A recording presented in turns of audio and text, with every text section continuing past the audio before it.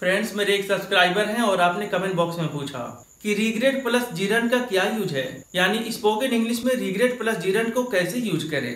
तो आइए फ्रेंड्स इस कंसेप्ट को समझें। फ्रेंड्स अगर आपके पास भी कोई क्वेश्चन है तो आप कमेंट बॉक्स में टाइप करें, मैं आपके क्वेश्चन पर वीडियो ज़रूर बनाऊँगा। तो आइए फ्रेंड्स देखें कि रिग्रेट प्लस जीरन क्या है। फ्रेंड्स रिग्रेट प्लस जीरन का यूज़ हम तब करते हैं जब हमको कहना हो। कि मैंने गुजरे हुए वक्त में कोई गुनाह कर दिया, कोई गलती कर दिया। अब मुझे उस गलती का एहसास है, या मुझे अफसोस है, या मुझे पछतावा है कि मैंने वो काम क्यों किया। अक्सर हमारे लाइफ में ऐसा होता है फ्रेंड्स कि हम कोई गलती कर देते हैं, कोई गुनाह कर देते हैं, और बाद में पछताते हैं कि हमने ऐसा क्यों किया। तो फ्रेंड्स जब कभी भी सिचुएशन ऐसी हो कि आपने कोई गुनाह किया, आपने कोई गलती किया, और आप पछता रहे हैं, या अफसोस कर रहे हैं कि मैंने ऐसा क्यों किया तो इस सिचुएशन में हम रिग्रेट प्लस जीरन का यूज़ करते हैं। कैसे करते हैं? आइए इस बात को एग्ज़ाम्पल में बेहतर तरीके से समझें। फ्रेंड्स अगर कहना हो, शराब पीने के लिए मुझे अफसोस है या मैं पछताता हूँ तो आप कहेंगे आई रिग्रेट ड्रिंकिंग यानी आप कहना चाहते हैं कि जो लास्ट टाइम मैंने शराब पी, इस बात को लेकर मुझे अफसोस है या इस बात को लेकर मैं पछताता हूँ कि मैंने ऐसा क्यों किया? फ्रेंड्स अगर कहना हो कि गाली देने के लिए मुझे अफसोस है या गाली देने के लिए मैं पछताता हूँ। तो आप कहेंगे आई रिग्रेट अब्यूजिंग इस सेंटेंस का मीनिंग हुआ कि ये जो मैंने अब्यूजिंग का काम किया है, गाली देने का काम जो मैंने किया है, इस बात पर मुझे अफसोस है या मैं अब पछताता हूँ कि मैंने ऐसा क्यों किया?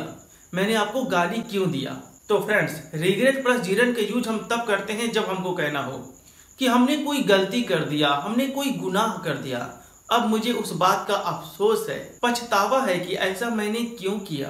फ्रेंड्स अगर आपको कहना हो कि जेब काटने के लिए मुझे अफसोस है, या जेब काटने के लिए मुझे पछतावा है, यानी मैं कहना चाहता हूँ फ्रेंड्स कि जो मैंने आपका जेब काटा, उस बात को लेकर मैं पछता रहा हूँ, या मुझे अफसोस है कि मैंने यह गलती, या पाप, या यह गुनाह क्यों किया?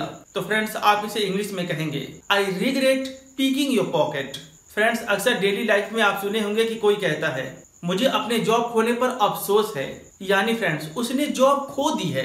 अब ये गलती होने के बाद उसे अफसोस है कि मैंने ऐसा क्यों किया।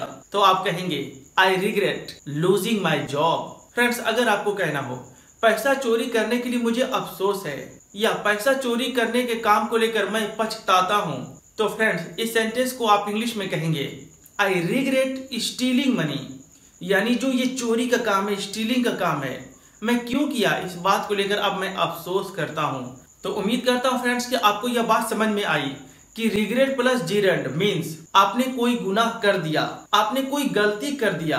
अब आप अफसोस कर रहे हैं या पछता रहे हैं कि अरे मैंने वो काम क्यों कर दिया? मैंने वो गलती क्यों कर दिया? फ्रेंड्स अगर वाकई आपको यह लेसन समझ में आया तो प्लीज़ आप मेरे क्वेश्चन का आंसर दें। फिर मिलेंगे एक नए वीडियो में। तब तक के लिए बाय।